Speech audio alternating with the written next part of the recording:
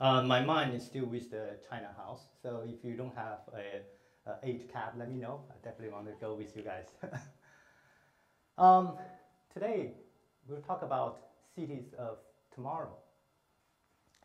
There are two different streams of thoughts on cities of tomorrow. So there's uh, one group of people, they're saying city has been well built. We are full. Cities are too big. So we cannot build city anymore. The counter argument is that if we actually try to house all the populations of the globe, we can put them in the state of Texas. If we do a better job, for example, we build empire towers everywhere, we can put them in a city, such like Chongqing. And if we go actually extreme, we build vertical cities, a new paradigm we're proposing. We we can house everyone in Shanghai. Think about that, the whole world population in Shanghai. On the other hand, there's a different stream of thoughts. They're saying our city is going to transform. Our city will be very, very different in 50 years. With the new technology, the connected autonomous vehicle, electrical vehicle, they're not fast enough. We have a pneumatic tube. We have different ways to make city look very different. I want to pause just for 10 seconds. I want you, I invite you guys to think about future cities that you have in mind.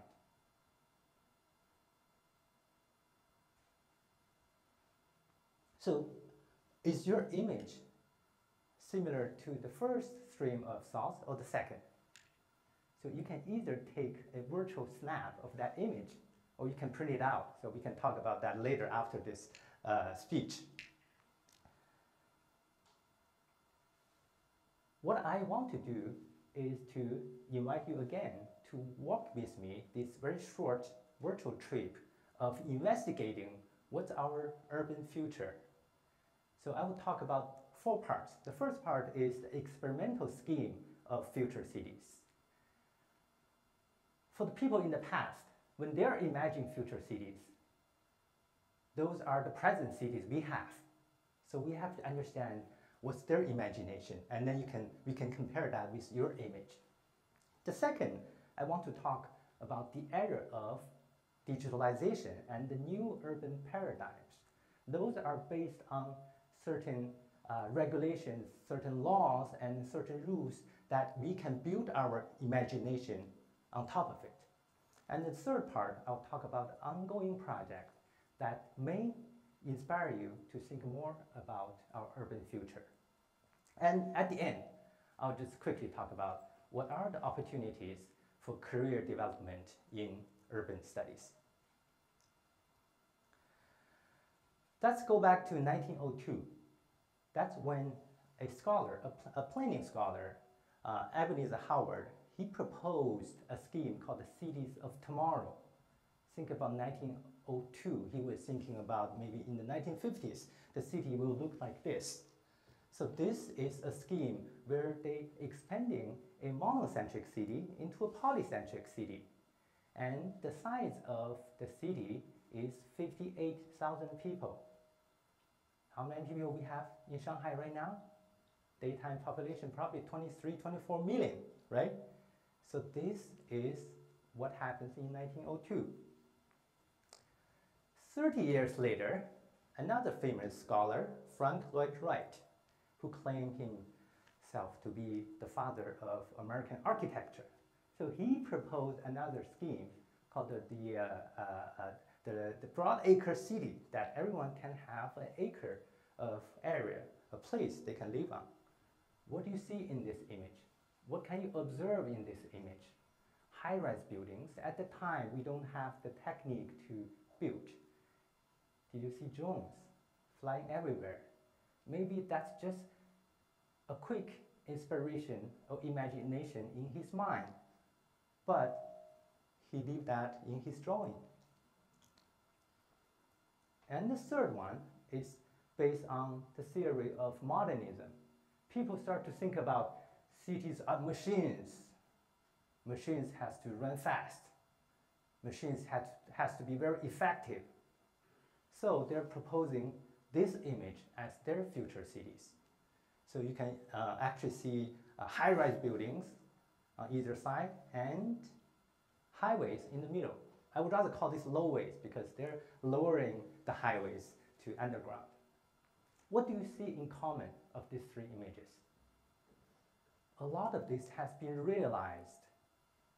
I hope it will be the same, what you just snapped in your image of your future city will become realized in 50 years.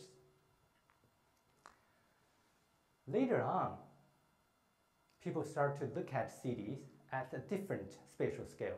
They're saying a city is not just a city, a city is a region. So a French geographer visited uh, United States in the Eastern Shore area, and he traveled from Boston all the way to Washington, D.C. He was claiming a city is too small. The whole area is a continuous urbanized area. So he coined the word megalopolis. He started to use megalopolis to describe his urban future in his mind. And nowadays, people start to expand this idea of megalopolis. In their imagination, they're saying cities are not only urbanized area, but on the other end of this pendulum, cities are also part of a landscape. Cities are also part of the wilderness. So we should consider both. So they start to expand. So this whole area covers the entire Appalachian Trail. It started from the tri-state in Georgia and go all the way up to Maine. And bring this to another extreme. There are scholars, such as uh, Neil Brenner, he's arguing that we should look at the global scale. This is planet urbanism. What happens in Shanghai right now are in every way being affected or affecting lives in Africa, for example, in the Saharas. So I actually had a quick encounter with uh, Professor Neil Brenner. Uh, he actually used to taught at NYU, and he moved to uh, graduate school of design at Harvard University. We have a two-year overlap. I was a PhD student, and he invited me to join this project. And then I told him I just joined a, a hiking club, so I forfeit that opportunity. now I'm regret a little bit. I wasn't get involved this, in this ama amazing projects. Um, so the second part, I want to talk about what are the rules and the regulations and the laws that cities are following. So these are based on a completely different understanding of our city. So our cities are not machines based on the most current scholars. They're saying cities are organic beings. So for organic beings, there should be certain regulations our cities should follow. So the first law is called the frequency law.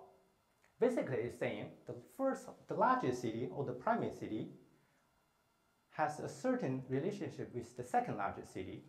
For example, you know, largest city has 1 million population and the second largest city has half million population.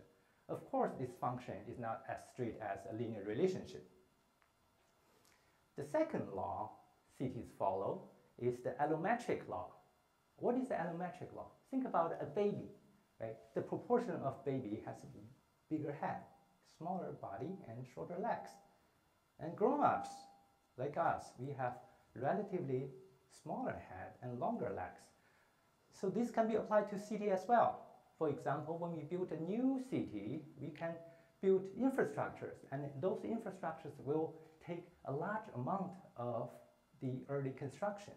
But as city grow, those infrastructures start to slowly, slowly growing then the population of the city. So that's the allometric law. The third law is one of the most famous law in the universe. It's the gravity law. Larger cities attract more resources, more peoples. If we're focusing on uh, the inner side of the city, you know, the uh, transit-oriented development will attract more people toward train stations, toward attractions.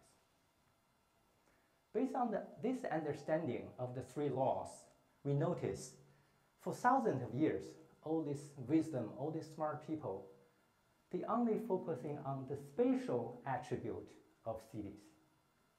All these three laws are spatial attributes. They haven't really thought about what are the temporal dimension of urban laws. They haven't thought about what are the predictability of urban laws. So, with the development of computational power and then the emergence of artificial intelligence, now we can use neurons. We can use convolutional neural network in combination with cellular automatas. All these kind of jargons, we can throw them to the existing urban data, and then we can predict what's our urban future. So after a few years, uh, many PhDs work, and we get these results. Um, so these are, you know, four scenarios. For example, the second scenario for uh, Yangtze River Delta, we are saying if we promote bigger cities to grow bigger, for example, Shanghai grow bigger, uh, Hangzhou grow bigger, and Nanjing grow bigger, uh, the smaller cities grow smaller. So we get a 2.51% of annual growth of population. Is this what we want? Is that our urban future? So at least we have some theory and empirical evidence to support our virtual image that we have in our mind. And the third part, I want to talk about an ongoing project. We call the Urban Data Horizon and the platform. Um, our focus is actually the blue dot in the middle, the Yangtze River Delta area. We inherit the concept of urban region, uh, similar to the megalopolis concept. We are focusing on an urban area instead of a, a single city. What we are trying to investigate is what are the infrastructure, what are the digital infrastructure or database infrastructure for our future cities. So first of all, I don't expo- uh, expecting you to read the whole thing, but the key word here is the digital transformation standard. First of all, we need to have new laws. We only have spatial laws for city. Now we need to have laws to govern the urban data that can transform our urban future. The second part, uh, this is actually going to change the name of urban scholars. Right now, I call myself urban scholars. But you know, once we establish this digital data form, we can call ourselves city doctors. We can diagnose the city healthiness. For example, if uh, we have a lot, a lot of congestion in Shanghai, we will say, mm, okay, this is a disease, this is a city disease. Maybe the figure of Shanghai should uh, uh, involve more physical education. And then if there, there are a lot of uh, air pollution, we'll say, mm, Shanghai has a lung disease. Now we need to fix this, right? So we can diagnose and we can provide solutions. So by then, will be the real doctor. I don't have to tell them I'm Dr. Guan, but actually I'm not the real doctor, I'm a PhD doctor. Now we can be an urban doctor or city doctor. Um, once we establish this framework, we need to know what kind of data can be public, what kind of urban data we can actually share with uh, among us. So these are the very basic ideas to find a common divisor of urban data. More importantly, we need to find security for those urban data. Not only security to govern our city, but the security to, go, to govern the data collection, to govern cybersecurity, and to govern the very digital infrastructure we created. Once we have everything, we need to think about the life cycle. If city is an organic, be organic being, it will be like us, you know, baby, grown-ups, and then grow older. So what are the life cycles for the digital infrastructure? If we put everything together, we'll say this is the new brain of our city. We can be the driver of this brain and we will have a better opportunity to understand our city, to have a better opportunity to communicate with our city. Um, this image shows an ongoing project, as I mentioned, the uh, NYU Shanghai Urban Lab.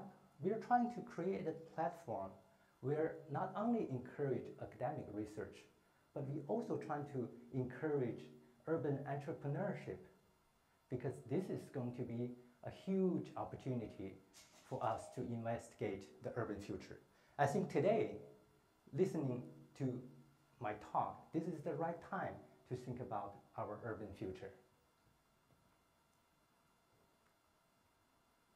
Lastly, I want to talk about careers in urban studies.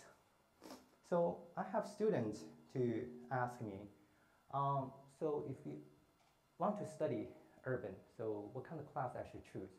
So I always encourage the student, urban studies is a multidisciplinary study. You have to have a very broad knowledge. If you study social science, I encourage you to minor in data science. If you study in business, I encourage you to minor in humanity. So you need to have a broader knowledge to become a good city doctor to diagnose for the city. The second most popular question for me are coming from international students. They're asking me, so I'm not a Chinese citizen, I'm from abroad, how can I involve in this system uh, that you know you need not only have an academic background, but you need to have a government network. So I was, I was telling them, for you guys, it's not only to be involved in the urbanization process in China, but also you should bring this knowledge to outside through, you know, for example, the uh, Belt and uh, Road Initiative. You should exchange, you should be the ambassador to, ambassador to, exchange such knowledge at the global scale. And also, one more question people ask me is, I want to become an urban researcher, but I also want to be rich. How can I make money? Um, so I will tell you the new urban data, the new data that we have could possibly replace the crude oil that we have for last century. They will become the new energy to support our future urban growth. Think about that, you know, urban data become a fortune, urban data become an asset. So this is going to be a multi-billion or even multi-trillion dollar thing that the platform are using can become an stock exchange platform. You know, the reason that data are staying at one company, one location, or one institution is because there's no such platform to circulate those data.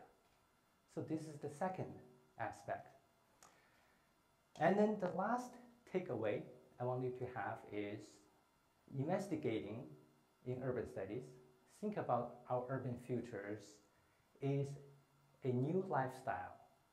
It's a way that you can have a human scale conversation with our city. Thank you.